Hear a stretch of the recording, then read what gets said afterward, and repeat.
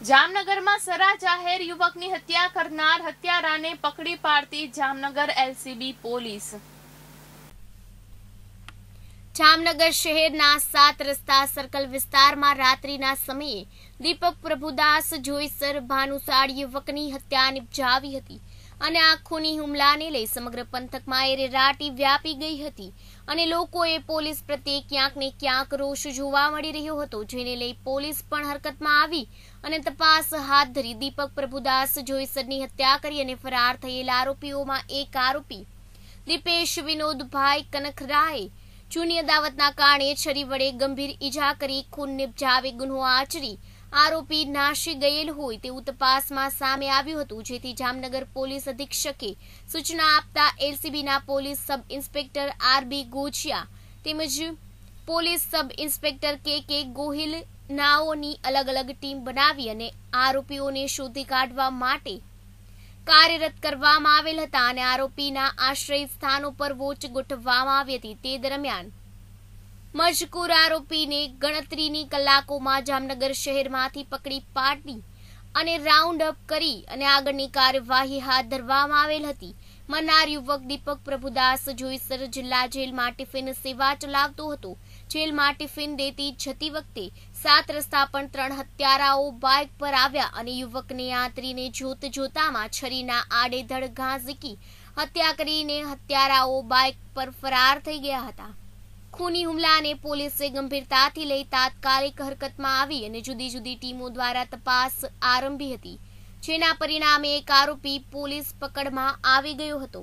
હત્યામાં કોણ કોણ સામેલ છે અને હત્યા કરવા પાછળનું કારણ જાણવા આગળની પૂછપરછ હાથ ધરેલ છે. ગઈકાલ તારીખ સત્તર પાંચ ના રોજ રાત્રિના બાવીસ ત્રીસ વાગે સાત રસ્તા સર્કલ પાસે એક ઈસમની હત્યા થયેલી એવી જાણ થતાં ઘટના સ્થળે જતાં જઈને તપાસ કરતાં મરણ જનાર દીપકભાઈ પ્રભુદાસભાઈ જોઈસરના હતા. તેઓ અહીંયા સબ જેલ છે, તેમાં ટિફિન આપવાનું કામ કરતા હતા. એ તરીકેની ઓળખાણ થયેલી. બાદ છરીના ગા મારીને હત્યા થયેલી હોય એસપી સાહેબની સૂચનાથી અલગ અલગ ત્રણ ટીમો એલસીબી એસઓજી અને સ્થાનિક પોલીસની ટીમો બનાવેલી અને એનું મરણ બેકગ્રાઉન્ડ તથા એના કારણો અંગે પ્રથમ જાણ મેળવેલી. બાદમાં તપાસ દરમિયાન એવું જાણવા મળેલું કે આજથી દસેક માસ પહેલાં એની પડોશમાં રહેતા દીપેશ વિનોદભાઈ કનખરા જે એમની પોતાની જ્ઞાતિના જ છે તેમની પાસે કૂતરા બગાડવાની બાબતમાં બોલાચાલીને માથાકૂટ થયેલી. જે અંગે સીટીસી ડિવિઝનમાં એક ફરિયાદ પણ દાખલ થયેલી અને આમાં હાલના આરોપીને ત્યારે પણ એરેસ્ટ કરવામાં આવેલો. જેનો ખાર રાખીને ગઈકાલે એણે આ- કૃત્યને અંજામ આપેલું છે. ના અન્ય કોઈ ગુના નથી. તપાસ હાલમાં ચાલુ છે. ગુનામાં વપરાયેલા હથિયારો હથિયારો કબજે લીધા છે. મારક હથિયાર કબજે લીધેલ છે. એક જ વ્યક્તિ હતો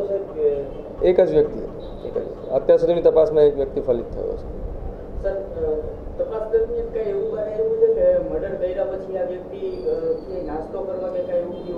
તપાસ દરમિયાન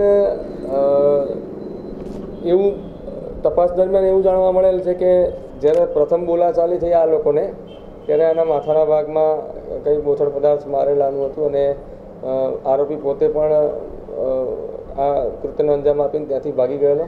જ્યારે એને પકડ્યો ત્યારે તે પણ ઈજાગ્રસ્ત હતો, એની પણ સારવાર કરવામાં આવી છે. કેટીવી ન્યૂઝ ગુજરાતી સાથે, હર્ષદ ખંડેલિયા સાથે, ભોજાભાઈ ટોઈટા જામનગર.